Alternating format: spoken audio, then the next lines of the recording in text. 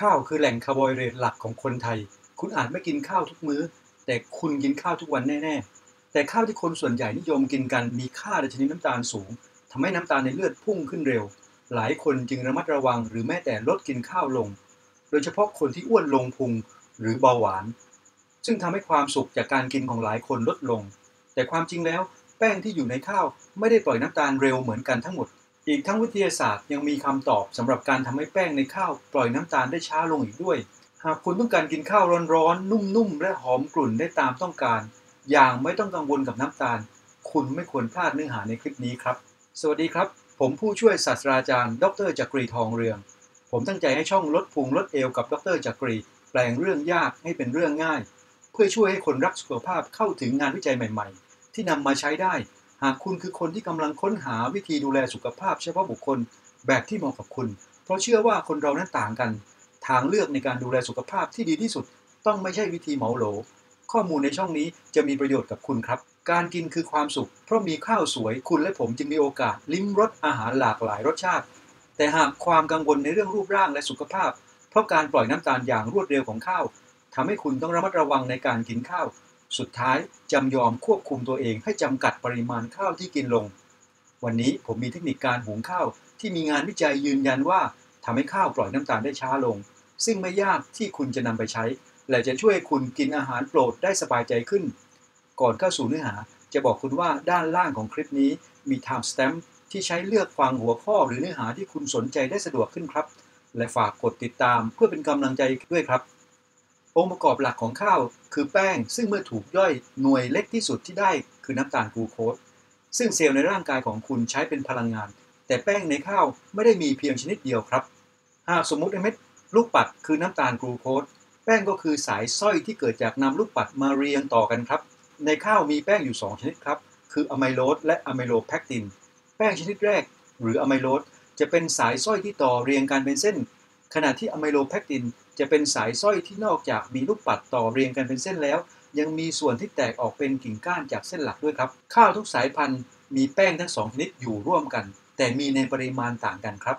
ซึ่งสัดส่วนของสร้อยลูกปัดทั้งสองชนิดนี่แหละครับ ที่มีผลต่อความนุ่มของข้าวเมื่อหุง รวมถึงความเร็วของการปล่อยน้ำตาลที่เรากำลังจะพูดถึงอีกด้วยครับ คุณพอจะนึกภาพออกนะครับว่า เพราะอะไมโลสไม่มีกิ่งก้าน เมื่ออยู่รวมกันจึงสามารถเรียงซ้อนกันได้สะดวก และเป็นระเบียบ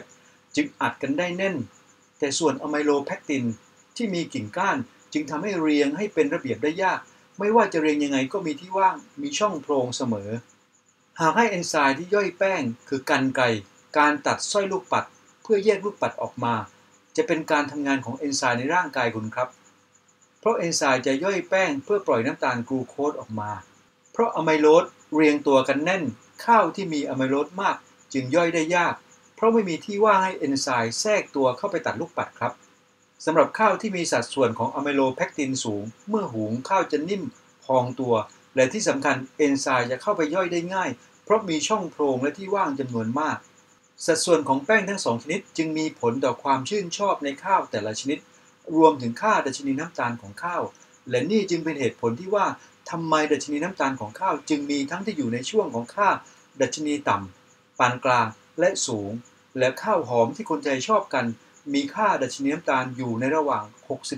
68-80 จึงเป็นข้าวที่ปล่อยน้ำตาลได้ค่อนข้างเร็ว ฟังถึงตอนนี้อย่าเพิ่งถอดใจครับ เพราะพันธุ์ข้าวไม่ใช่สิ่งเดียวที่กำหนดความยากง่ายในการย่อยแป้ง และค่าดัชนีน้ำตาล เรายังสามารถดัดแปลงค่านี้ให้ต่ำได้อีกครับ ก่อนจะไปในเนื้อหาของคลิปนี้กัน หากคุณยังสงสัยว่าทำไมความเร็วในการปล่อยน้ำตาลออกจากข้าว จึงสำคัญต่อการสะสมของไขมันในช่องท้อง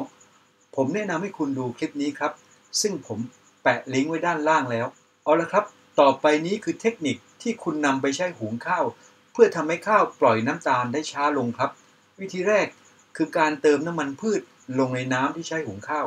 ถ้าย้อนกลับไปดูภาพรูปร่างของแป้งอีกครั้ง คุณพอเห็นภาพนะครับว่า เมื่อโมเลกุลของแป้งทั้งสองชนิดอยู่ด้วยกัน ไม่ว่าจะจัดระเบียบยังไง สุดท้ายก็จะมีที่ว่างมีช่องโพรงเกิดขึ้นอยู่ดี เพราะมีกิ่งก้านที่เกะกะของอะไมโลแพคตินขวางไว้ ถ้าหากว่าเราสามารถเอากาวไปหยอดตรงช่องว่างเหล่านี้ คุณว่าไหม นอกจากเราจะอุดโพรงที่มีอยู่แล้ว การยึดกันระหว่างแป้งแต่ละเส้น หรือแต่ละโมเลกุลน่าจะแข็งแรงขึ้นด้วย เห็นด้วยไหมครับ และถ้าทำอย่างนั้นที่ว่าได้ จะมีผลดีอะไรหรือครับ อย่างนี้ครับ ถ้ากันไกคือเอนไซม์เอนไซม์ก็เข้าไปตัดหรือย่อย เพื่อปล่อยน้ำตาลออกมาไม่ได้แล้ว จริงไหมครับ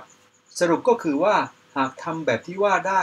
แป้งก็จะถูกย่อยได้ยากขึ้น และจะไม่ถูกย่อยได้อย่างสมบูรณ์ เพราะบางส่วนมีกาวยึดและขวางไว้ นักวิทยาศาสตร์เก่งครับเขาทำแบบที่จินตนาการไว้ได้เลยครับ กาวที่ว่าคือน้ำมัน ซึ่งความจริงแล้วมีประเด็นที่ท้าทายพวกเขาคิดกันพอสมควรครับ คือจะใช้น้ำมันอะไรที่แทรกเข้าไประหว่างแป้งได้ดี และต้องใช้ตอนไหน คือจะก่อนหุงข้าว ตอนหุงข้าว หรือหลังหุงข้าว จึงจะให้ผลดีที่สุด แล้วจะใช้น้ำมันเท่าไหร่ เพราะหากใช้น้ำมันมากไปอาจแย่งกัน สุดท้ายก็ไม่ได้ผลตามที่ต้องการ หรืออาจหรืออาจเป็นไปได้ว่าน้ำมันแทรกเข้าไป จนเกิดจุดเชื่อมมากเกินพอดี จนข้าวแข็งกินไม่ได้ ที่ผมเกริ่นให้ฟังนะครับ ไม่ต้องตกใจเพราะนักวิจัยเขาตรวจสอบแล้วครับ และข้อสรุปก็คือว่า คุณจะเอาข้าวสารไปผัดกับน้ำมันก่อนที่จะหุงก็ได้ครับ แต่วิธีที่น่าจะสะดวกและยังให้ผลลัพธ์ที่ดี คือเติมน้ำมันลงในข้าวที่ใช้หุง และหุงตามปกติสำหรับน้ำมันจะใช้น้ำมันมะพร้าวหรือน้ำมันรำข้าวก็ได้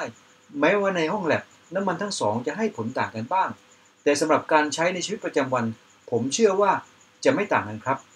สำหรับปริมาณที่ใช้คือ 2.5ถึง3%ของน้ำหนักข้าวสาร ส่วนน้ำก็ใช้สัดส่วนตามปกติ แค่นี้ก็จะช่วยข้าวที่ได้ย่อยยาก และปล่อยน้ำตาลได้ได้น้อยลงแล้วล่ะครับ แต่ถ้าคุณมีเวลาและต้องการได้ผลลัพธ์เพิ่มขึ้น หากคุณเอาข้าวที่หุงไปเก็บในตู้เย็น ทิ้งไว้ข้ามวัน และอุ่นให้ร้อนก่อนกิน วิธีนี้จะช่วยให้แป้งในข้าวถูกย่อยได้ยากขึ้นไปอีกครับ เหตุผลก็เพราะว่าตอนที่เราหุงข้าว ความร้อนในน้ำที่ใช้จะทำให้แป้งพองตัวออก หรือทางออกห่างจากกัน นึกภาพตอนคุณเป่าลูกโป่งครับ นี่ก็คือสิ่งที่ทำให้ข้าวนุ่มและหุงขึ้นหม้อไงครับ การเปลี่ยนแปลงของข้าวแบบนี้ นักวิทยาศาสตร์อาหารเขาเรียกว่าเกิดเจลแป้งครับ แต่เมื่อคุณเอาข้าวไปเก็บในตู้เย็น ความเย็นและเวลาที่ใช้เก็บ จะทำให้โมเลกุลของแป้ง หรือสร้อยลูกปัดแต่ละเส้น จัดระเบียบตัวเองใหม่ ที่อยู่ใกล้ๆกันก็จับไม้จับมือกัน ที่อยู่ห่างกันก็ค่อยๆขยับเข้ามาหากัน จนใกล้พอที่จับมือทักทายกันได้ โครงสร้างของแป้งจึงกลับมาแข็งแรงกว่าตอนที่หุงสุกใหม่ ๆ ครับ ซึ่งจะทำให้แป้งตอนนี้ย่อยยากและปล่อยน้ำตาลได้ยากกว่าตอนที่หุงสุกใหม่ๆครับ คุณอาจจะถามผมว่าถ้าอย่างนั้นตอนที่เอาข้าวมาอุ่นให้ร้อน จะไม่ทำลายการจับมือจับไม้กันของแป้งเหรอ และแป้งจะไม่กลับมาถูกย่อยง่ายแบบเดิมหรือไม่ เรื่องนี้นักวิจัยยืนยันแล้วครับว่าสิ่งที่คุณกังวลจะไม่เกิดขึ้น เพราะความร้อนที่ใช้อุ่นข้าว นอกจากจะไม่สูงพอ และไม่นานพอที่จะทำลายการจับกันของแป้งแล้ว คุณจึงสบายใจได้ครับว่า ความพยายามของคุณจะไม่สูญเปล่า ข้าวที่อุ่นร้อนแล้วจะยังปล่อยน้ำตาลช้าลง ซึ่งช่วยน้ำตาลในเลือดคุณไม่เพิ่มพรวดพลาดแบบที่แล้วมาแน่นอนครับ เอาละครับ หวังว่าเนื้อหาในตอนนี้จะมีประโยชน์กับคุณนะครับ เอาไปทดลองใช้นะครับ สิ่งที่จะทำให้เป็นไปได้เลยง่ายขึ้น คือการวางแผนล่วงหน้า ค่อยๆทดลอง ค่อยๆ ปรับไปครับ แล้วคุณจะได้วิธีที่เหมาะกับตัวเองและครอบครัว ผมหวังว่าคุณจะมีความสุขกับข้าวสวยร้อนๆ ในมื้อต่อไปเพิ่มขึ้นนะครับ เช่นเคยครับ ฝากกดติดตามเพื่อสนับสนุนและเป็นกำลังใจให้ผม ก่อนจากการกดกระดิ่งไว้นะครับ เพราะคุณจะได้ไม่พลาดสาระที่รู้และภูมิยุบแบบนี้อีก แล้วเจอกันใหม่ในตอนหน้า วันนี้สวัสดีครับ